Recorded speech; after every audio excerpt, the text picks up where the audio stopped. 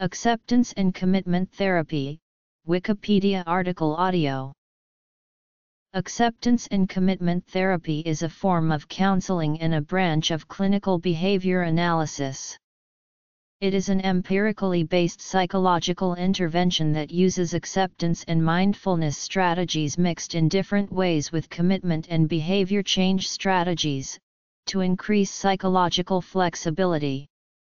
The approach was originally called comprehensive distancing. Stephen C. Hayes developed acceptance and commitment therapy in 1982 in order to create a mixed approach which integrates both cognitive and behavioral therapy. There are a variety of protocols for ACT, depending on the target behavior or setting. For example, in behavioral health areas a brief version of ACT is called Focused Acceptance and Commitment Therapy. The objective of ACT is not elimination of difficult feelings, rather, it is to be present with what life brings us and to move toward valued behavior. Acceptance and commitment therapy invites people to open up to unpleasant feelings, and learn not to overreact to them, and not avoiding situations where they are invoked. Its therapeutic effect is a positive spiral where feeling better leads to a better understanding of the truth. In ACT, truth is measured through the concept of workability, or what works to take another step toward what matters. Technique Basics ACT is developed within a pragmatic philosophy called functional contextualism. ACT is based on relational frame theory, a comprehensive theory of language and cognition that is an offshoot of behavior analysis. Both ACT and RFT are based on B.F. Skinner's philosophy of radical behaviorism.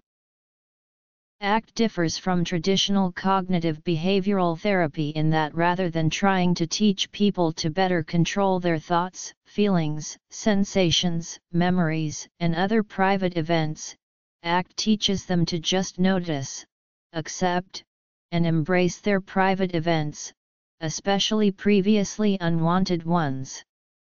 ACT helps the individual get in contact with a transcendent sense of self known as self as context the you who is always there observing and experiencing and yet distinct from one's thoughts, feelings, sensations, and memories. ACT aims to help the individual clarify their personal values and to take action on them, bringing more vitality and meaning to their life in the process, increasing their psychological flexibility. While Western psychology has typically operated under the healthy normality assumption which states that by their nature, humans are psychologically healthy, ACT assumes, rather, that psychological processes of a normal human mind are often destructive.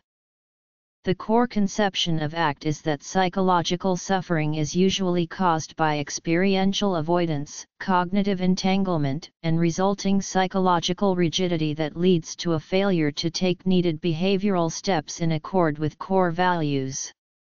As a simple way to summarize the model, ACT views the core of many problems to be due to the concepts represented in the acronym fear. And the healthy alternative is to act. ACT commonly employs six core principles to help clients develop psychological flexibility. Core Principles Correlational evidence has found that absence of psychological flexibility predicts many forms of psychopathology. A 2005 meta-analysis showed that the six ACT principles, on average, account for 16-29% of the variance in psychopathology at baseline, depending on the measure, using correlational methods. 1213 A 2012 meta-analysis of 68 laboratory-based studies on ACT components has also provided support for the link between psychological flexibility concepts and specific components. A 2015 review found that ACT was better than placebo and typical treatment for anxiety disorders, depression, and addiction. Its effectiveness was similar to traditional treatments like cognitive behavioral therapy. The authors suggested that the CBT comparison of the previous 2012 meta-analysis may have been compromised by the inclusion of non-randomized trials with small sample sizes. They also noted that research methodologies had improved since the studies described in the 2008 meta-analysis. Medical uses A 2008 meta-analysis concluded that the evidence was still too limited for ACT to be considered a supported treatment, and raised methodological concerns about the research base. A 2009 meta-analysis found that ACT was more effective than placebo and treatment as usual for most problems, but not more effective than CBT and other traditional therapies. A 2012 meta-analysis was more positive and reported that ACT outperformed CBT, except for treating depression and anxiety.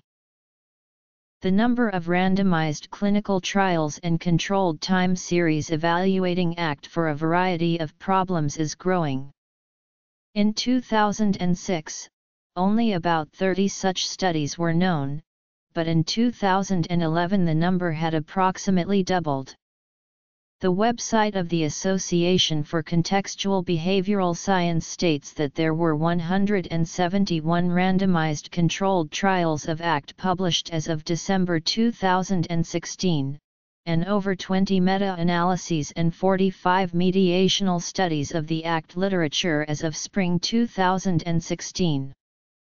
Most studies of ACT so far have been conducted on adults and therefore the knowledge of its effectiveness when applied to children and adolescents is limited. ACT, Dialectical Behavior Therapy, Functional Analytic Psychotherapy, Mindfulness-based cognitive therapy and other acceptance and mindfulness-based approaches are commonly grouped under the name the third wave of cognitive behavior therapy. The first wave, behavior therapy, commenced in the 1920s based on Pavlov's classical conditioning and operant conditioning that was correlated to reinforcing consequences. The second wave emerged in the 1970s and included cognition in the form of irrational beliefs, dysfunctional attitudes, or depressogenic attributions. In the late 1980s empirical limitations and philosophical misgivings of the second wave gave rise to Stephen Hayes' ACT theory which modified the focus of abnormal behavior away from the content or form towards the context in which it occurs. ACT research has suggested that many of the emotional defenses individuals use with conviction to try to solve their problems actually entangle humans into greater suffering rigid ideas about themselves, lack of focus on what is important in their life and struggling to change sensations, feelings, or thoughts that are troublesome only serve to create greater distress. Similarities Stephen C. Hayes described this group in his ABCT President address as follows Criticisms Grounded in an empirical, principle-focused approach, the third wave of behavioral and cognitive therapy is particularly sensitive to the context and functions of psychological phenomena, not just their form, and thus tends to emphasize contextual and experiential change strategies in addition to more direct and didactic ones.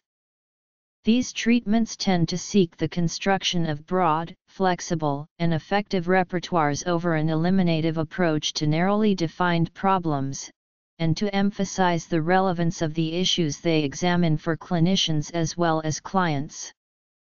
The third wave reformulates and synthesizes previous generations of behavioral and cognitive therapy and carries them forward into questions, issues, and domains previously addressed primarily by other traditions, in hopes of improving both understanding and outcomes.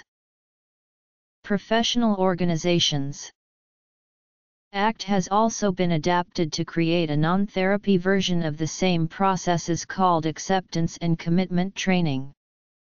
This training process, oriented towards the development of mindfulness, acceptance, and valued skills in non-clinical settings such as businesses or schools, has also been investigated in a handful of research studies with good preliminary results. This is somewhat similar to the awareness management movement in business training programs, where mindfulness and cognitive shifting techniques are employed.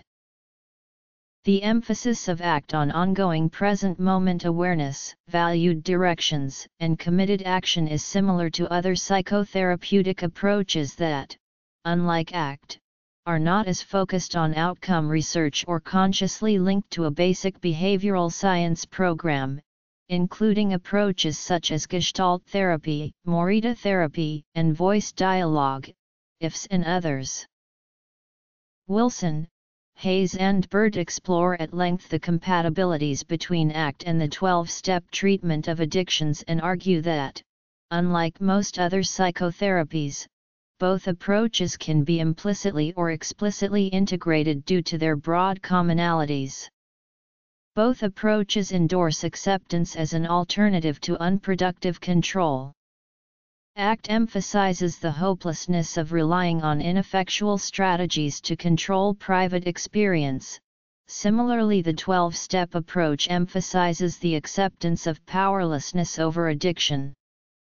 Both approaches encourage a broad life reorientation, rather than a narrow focus on the elimination of substance use, and both place great value on the long-term project of building of a meaningful life aligned with the client's values. ACT and 12-step both encourage the pragmatic utility of cultivating a transcendent sense of self within an unconventional, individualized spirituality. Finally they both openly accept the paradox that acceptance is a necessary condition for change and both encourage a playful awareness of the limitations of human thinking. Some published empirical studies in clinical psychology have argued that ACT is not different from other interventions.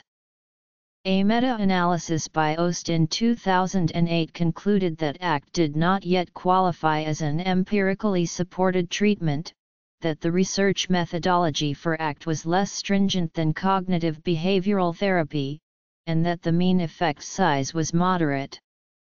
Supporters of ACT have challenged those conclusions by showing that the quality difference in Ost's review was accounted for by the larger number of funded trials in the CBT comparison group.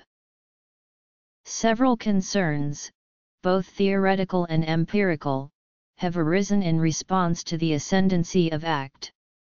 One major theoretical concern is that the primary authors of ACT and of the corresponding theories of human behavior, relational frame theory and functional contextualism, recommend their approach as the proverbial holy grail of psychological therapies.